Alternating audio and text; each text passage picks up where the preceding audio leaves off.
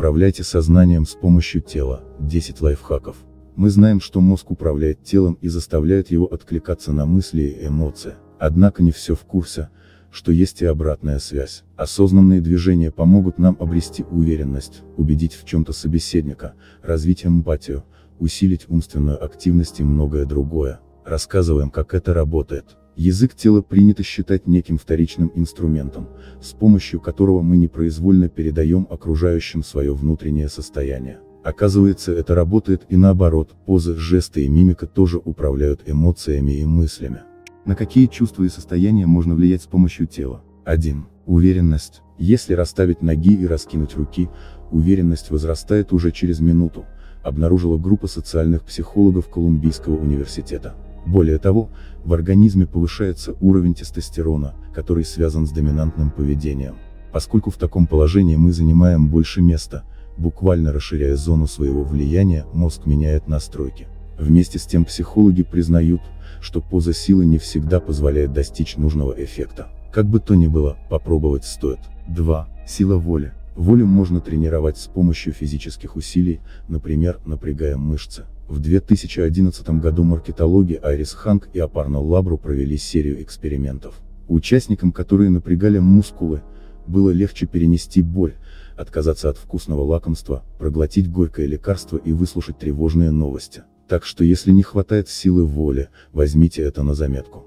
3. Концентрация. Долго бьетесь над проблемой, но что-то постоянно отвлекает. Попробуйте принять классическую позу Наполеона, скрестите руки на груди. Психологи Рон Фридман и Эндрю Эллиот убедились, что она помогает сосредоточиться. Нескольким добровольцам раздали набор сложных задач и замерили, сколько времени занимает решение. Когда их попросили скрестить руки на груди, они дали правильные ответы вдвое быстрее. 4. Сосредоточенность. Если предыдущий метод не сработал, просто лягте и расслабьтесь. Австралийские психологи Дарьян Липницеки и Дон Бирн провели эксперимент. Они дали испытуемым задачи, требующие творческого настроя, и предложили им прилечь. Ученые не ошиблись, лежа действительно удается быстрее поймать озарение. 5. Продуктивность. Раз уж вы легли, почему бы не поспать? Однако не забывайте, что это своего рода искусство. Задремлете надолго, одолеет сонная инерция, голова будет словно чугунная. Прикрыли глаза на минутку,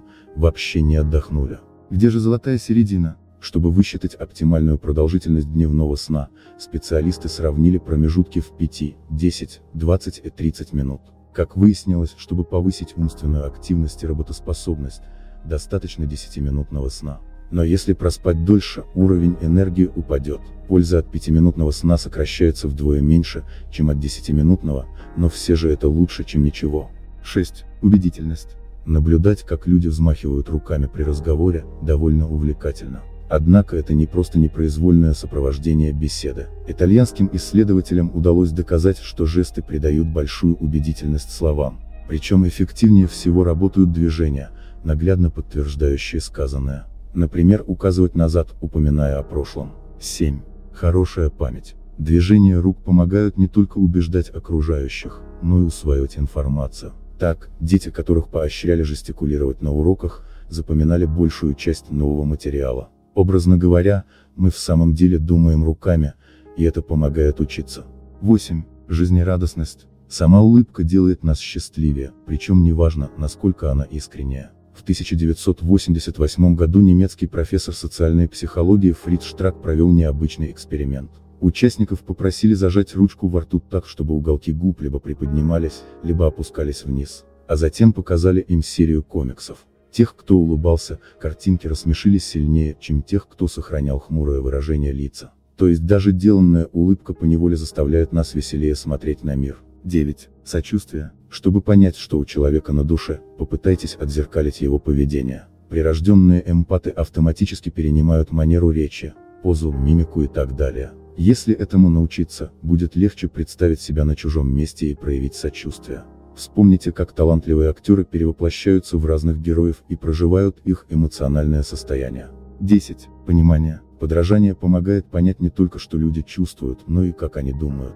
Эксперимент нейролингвиста Пати Аданг показал, что участникам было проще распознать незнакомый акцент, когда они пытались его имитировать. А копируя поведение другого, можно догадаться, что у него на уме. Телесное мышление. Большинство упомянутых исследований подтверждают теорию, что люди, как и все живые существа, наделены телесным мышлением, считает психолог Джереми Дин. Ведь разум – это не только вещество, скрытое в черепной коробке, а еще и физическая оболочка, которая передвигается в пространстве. Наша жизнь становится все виртуальнее, мы проводим большую часть времени за экранами всевозможных устройств. А значит, стоит почаще вспоминать, что связь между мозгом и телом двусторонняя. Ведь человеческий интеллект – это больше, чем некая машина для обработки входящих данных. Он нужен для обмена информацией между телом, сознанием и окружающим миром.